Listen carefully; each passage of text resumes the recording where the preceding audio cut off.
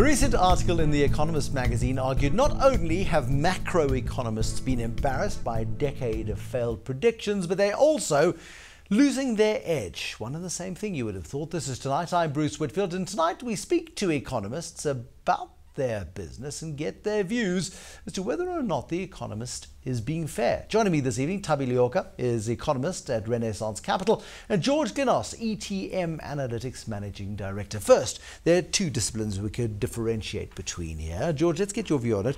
A difference between microeconomics and macroeconomics. What, what's the difference? So micro tends to be more focused on company, more focused on, on specific sectors and developments within a sector. Macro tends to look at things in a more aggregated way.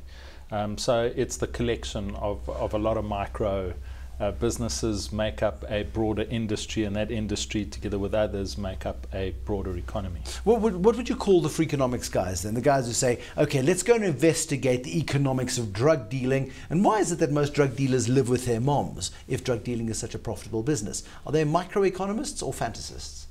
I mean, uh, I, I, think they're interesting analysts. I don't know that they particularly fall in, necessarily into the economics camp, strictly speaking, but uh, they, they come up with some really interesting studies, which, um, if nothing else, uh, teach us about different facets, sometimes of behavioral economics.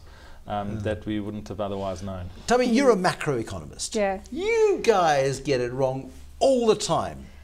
Okay, just to go back Discuss. to Discuss. macroeconomics is also it's a behavioral uh, study, so it's a social science. And I remember my textbook saying that macroeconomics is the study of um, how to make the most out of very little that you have. So um, why we've been getting it wrong in the past 10 years, I think the past 10 years have been very different to the previous five, uh, 10 years. Um, we've had you know, a crisis in 2008 that um, was comparable to the Great Depression. Um, we had uh, a decoupling of emerging markets, and then we had emerging markets faltering. Uh, we now have a decoupling of uh, developed markets. Um, we have all these problems and all these social, economic, uh, financial, industrial uh, problems that are are just, um, I think, are greater than what we had and I think it's part of development. So the next the decade's textbooks are going to be based on the last 10 years of, of, examples, by which time the world would have moved on, the problems would have changed, and the textbooks written about the last 10 years will be as irrelevant as the textbooks written 10 years ago about the previous 10 years, if you're keeping up. I think theory is, is a great foundation. So if you don't understand economic theory, you may not understand why things are developing in the way they do. You may not get the forecasting right, um, but I think the theory is, is a great base. Okay, so the theory is a great base, but companies make decisions based on macroeconomic forecasts. So the group economist of a bank will have a hotline to the chief executive and vice versa. Um, and the chief executive will lead an executive team based on what the group economist tells them. The South Africa is going to grow 3.3%, and boom, it doesn't. Um, and the macroeconomists never get fired, George. Um, do they get it wrong all the time? And what do the stats tell us? Well, look, we've done we've done studies on aggregated forecasts versus reality, and they don't stack up particularly well. So, so you go, you look at what people said on the 1st of January, and the 31st of December, you look back at their forecast. Exactly. No, we look How, at 12 month forecasts, yeah. and, and in 12 months' time, we have a look at what actually transpired versus what the forecast How bad are they in terms of their inaccuracy? I would have to say it's probably in the order of about 20% accuracy, 20 to 30 Is that an acceptable accuracy. margin of error in macroeconomic terms, Tony? It's unacceptable. Uh, because, I mean, if you're but forecasting, it's a standard. you should get. I think it's, it's in, in the recent past, yet, yes, it has been. Even the Fed and our Reserve Bank, for the first time, have actually admitted to not getting interest rates correct and the currency correct. And, and again, it's this cacophony of issues and influences uh, that are causing, especially exogenous factors that are causing, that are making it difficult to forecast. So, what is the point? Why bother? So, here's here's the really scary part. Uh, you know, what Thabi's just what Thabi's just highlighted is is what frightens me the most is that you've got your central bank, and we've we've uh, focused on on the central bank's forecast relative to the private sector forecast, and there's no perceptible difference. So, the so they're using there, similar models and coming so up with the same answer. Exactly. Yeah. Okay. So their model might be a little more intricate, a little more sophisticated than than the private sector models because they've got more resources, but there, there's no huge difference in, in the accuracy of their forecast versus the private sector forecast. Now, the real scary part about all of that is, is that they're basing actual policy decisions on the output of those those models, and that's a little bit frightening. Make, you're me. making a policy decision on something that is tw- at least 20% wrong. No, more likely um, closer to the 60, 70 percent Okay. chance that it's that it's wrong. So, and and the further out you go, the the worse it becomes. So, they're what's pretty the point good at of forecasting? forecasting. What is the point of forecasting? Well, I think you need to you need to be able to to take a decision at some point. But but you raise some interesting questions because quite often uh, we've raised the point that sometimes um, trying to manipulate markets that perhaps should be left to their own devices and and left to free market um, dynamics.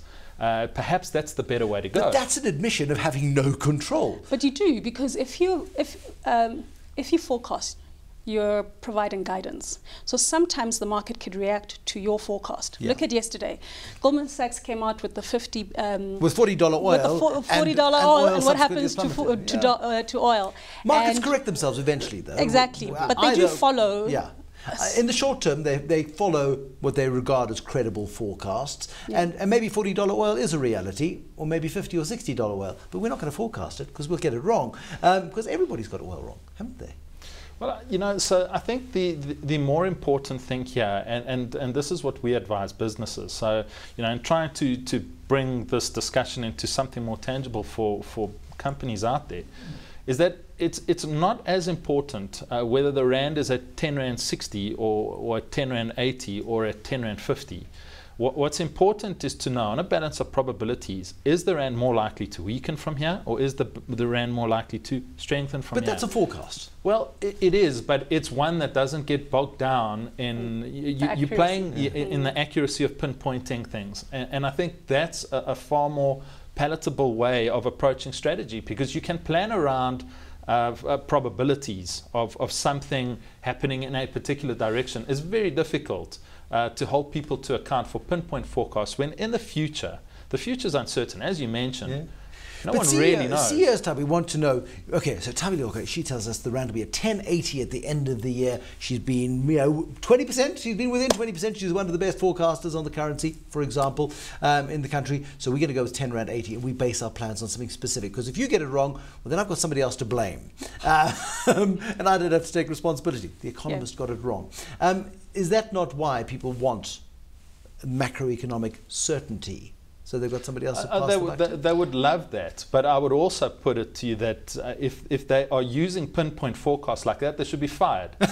they shouldn't be in that position to begin with, because that's absolutely not the way to run a, a, a business. But your example is actually very correct because oftentimes in, in business, especially if you work for a bulk, bulge bracket uh, like a big bank, where it's not just investment bank, but you have private bank and corporate, and uh, the economist does is asked to have a, an opinion on the end of year, as in the 31st of December, because companies actually base their uh, financial year on that. And I find that very difficult, and it just doesn't make sense to me because as an economist, we don't work on the last day of the year forecast, uh, and and it could change massively. I it's mean, a if a look moving at target. I mean, one looks at the world, and is the world awash with more data today, Thabi, than it was, say, 10 years ago? It seems like it. it, it definitely. And is that a There's just- desperate attempt to try and understand it better? It is, I think, a, a way of understanding, but there is more. There's a sophisticated means. I think uh, the fact that you know, um, IT and there's just a lot of resources now, and intelligence, and we get uh, data very quickly. Um, too much is not is never a bad thing. Uh, at least we get to isn't too much understand. I mean, it there- is there- too much noise, but but there is also social media that is creating this too much noise, and the you know uh, things happening Yeah. in real time that is creating this euphoria and that is moving market and often getting it wrong. So A question I want it- for both of you. A question the for times we're living in. Uh, a question for both of you. If I was to allow you only three data points upon which to plan, so for South Africa in a global context, you can have any three data points from anywhere in the world. What would those three data points be? George, I'm going to ask you first. I want to see if Thabi uh, correlates with what, with with what you might go for. What Sure. would they be It's going to be money supply in the US. in the US? Okay. It's going to be money supply in, and are we talking in the South African context? We look about about South Africa. We, Okay. You, you've got to, So you, you've got to provide information to a South African client Sure. for their planning for the globe. Sure. So uh, you, you you would have to have uh, an in, some interest rate um, um, feeling out there. So I, I would probably go for the US a, a US bond yield, probably the Okay. 10-year bond yield, and Okay. South African money supply. Okay, so two money supply numbers: South Yep. African money supply, US money supply, and US Treasuries, ten-year Yep. Treasuries. Yep. Thabi, what three I was would going you to say um, US 10 year, um, US GDP growth, and um, RAND. The round. Yeah. Okay. I mean, and squa- two two economists, different disciplines, looking for different data to give you, hopefully, the most accurate possible view of what the world looks like 12 months from now. Yep. No wonder it's a dismal science. Exactly. I mean- it's, it's, it's a tricky place to play. Um, and, and you guys have a credibility crisis as an industry?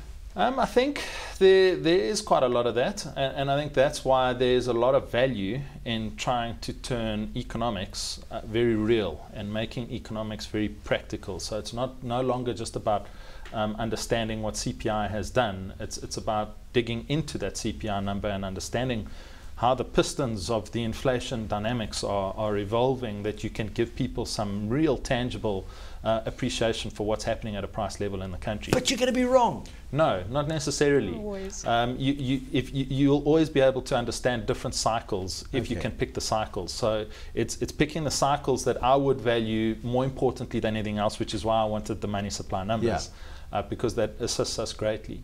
Uh, and off that, you'll But be that tells you about economic activity. It tells you what's Yeah, really and going I think on. the trend is what is important. It's not so when you say it's wrong, you're thinking of the actual number. Yeah.